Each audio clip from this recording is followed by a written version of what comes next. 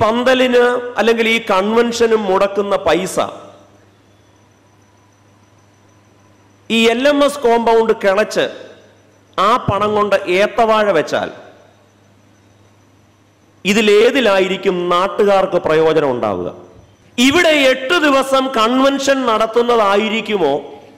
അതോ ഇവിടം കിളച്ച് ഏത്തവാഴ വെച്ചാൽ ഇതിലേതിലാണ് നാട്ടുകാർക്ക് പ്രയോജനം ഉണ്ടാവുക?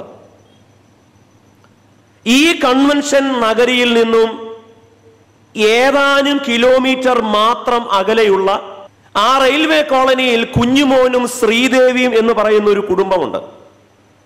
പട്ടിണി കൊണ്ട് മണ്ണ് വാരി തിന്ന ഒരു കുടുംബം. കുഞ്ഞുങ്ങൾ ഇതിൻ ഈ കൺവെൻഷൻ പന്തലിൽ നിന്നും അധികം ദൂരെയല്ലാതെ ഉണ്ട് എന്നറിയുമ്പോൾ പറയൂ ഏത്തവാഴ വെക്കുന്നതല്ലേ കുറച്ചുകൂടെ നല്ലത്?